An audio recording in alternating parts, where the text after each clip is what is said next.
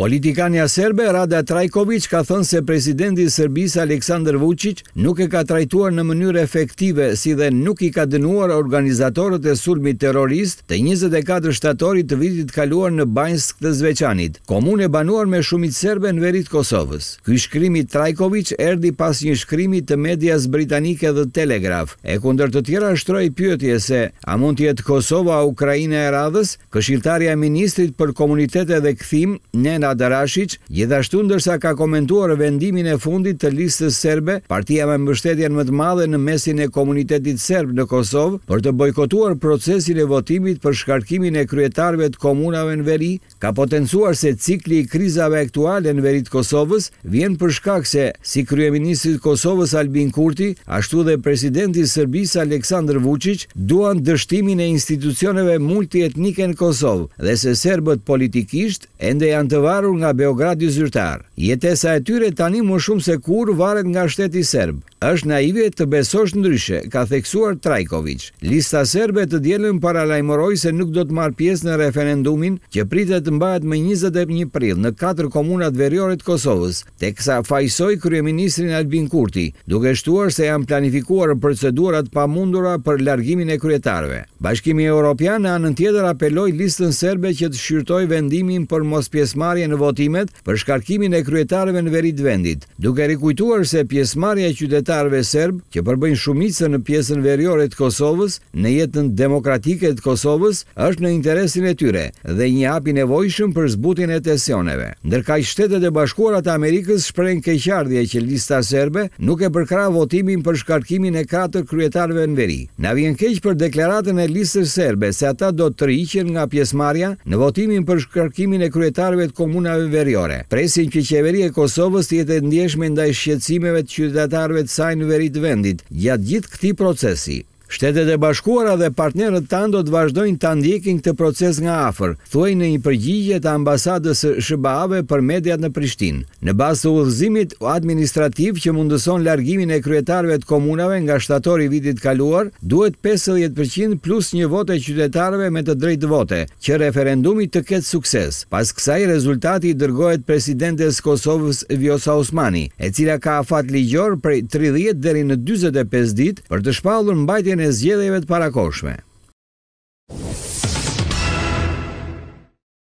Presidenti i Serbisë, Aleksandër Vuçiç, shkoi buzagaz në Paris, ku takoi presidentin Emmanuel Macron, por lideri francez është siguruar t'ia ngrijë buzëqeshjen në fytyrë. Pavarësisht njoftimeve madhështore në prag të vizitës së tij në Paris, presidenti serb ka marrë një dush të ftohtë në takim me Macron, ka shkruar media serbe Nova, referuar deklaratave për Kosovën dhe sulmin në Banjskë. As marrëveshja për blerjen e avionëve luftarakë francezë, Duket se nuk i përmirësoi gjërat. Hollësitë financiare të marrëveshjes së mundshme nuk janë bërë të ditura, por media pro-qeveritare serbe e vlerëson atë në rreth tre miliardë euro. Por nuk mbaron me kaq. Presidenti Macron ka konfirmuar se vendi i tij do mbështesë rezolutën që dënon gjenocidin në Srebrenicë. e cila duhet të vendoset në Asamblenë e Përgjithshme të Kombeve të Bashkuara, të cilën presidenti serb Aleksandër Vuçiç dhe lideri serb i Bosnjës Milorad Dodik e kundërshtojnë fuqishëm. Në videomesazhin e presidentit Macron që u transmetua të premten nga Qendra Përkujtimore e Srebrenicës në profilin e tij në rrjetin social X, Macron tha se Franca do të kujtojë përgjithmonë vuajtjet që kaloi Bosnja e Hercegovina gjatë luftës së viteve nëntëdhjetë dhe veçanërisht gjenocidin e Srebrenicës në korrik të vitit një mijë e nëntëqind e nëntëdhjetë e pesë, të cilin ai e përshkroi si një nga tragjeditë më të këqija në historinë moderne. Franca nuk i ka harruar më shumë se tetë mijë viktima, të rritur dhe fëmijë, që u vranë. Me emocione të thella përshëndes viktimat e mbijetuara të gjenocidit, si dhe familjet e tyre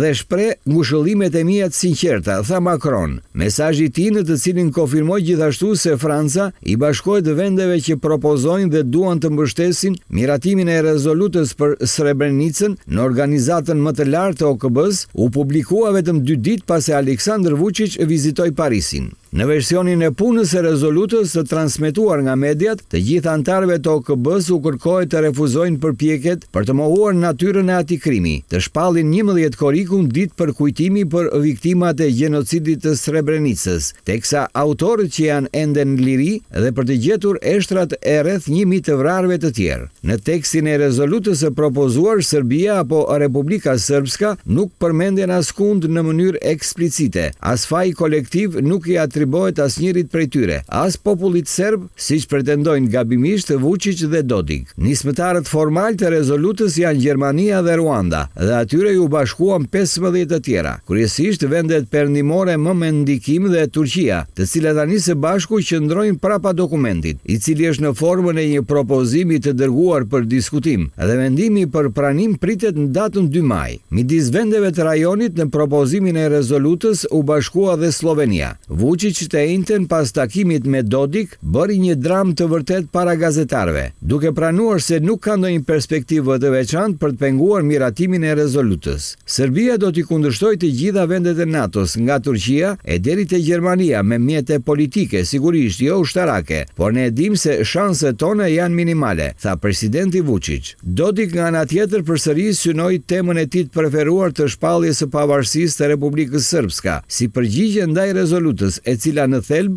vetëm do të kujtonte faktet tashmë të provuara nga vendimet e Gjykatës Ndërkombëtare Penale për ish-Jugosllavinë, dhe Gjykata Ndërkombëtare e Drejtësisë, e cila vendosi për gjenocidin e kryer në Srebrenicë. Nuk shoh asnjë pikë që Republika Sërpska pas miratimit të rezolutës të mbetet si pjesë e Bosnje-Hercegovinës, tha Dodik, duke treguar se do të bëjë gjithçka që Vuçiç ta mbështesë Republikën Sërpska në vendimet e vështira që do të marrë pas pesë majit. Vuçiç nga ana e tij theksoi se ai i lutej popullit të Republikës Sërpska që të mendojë edhe një herë për të gjitha veprimet dhe vendimet që janë planifikuar të merren.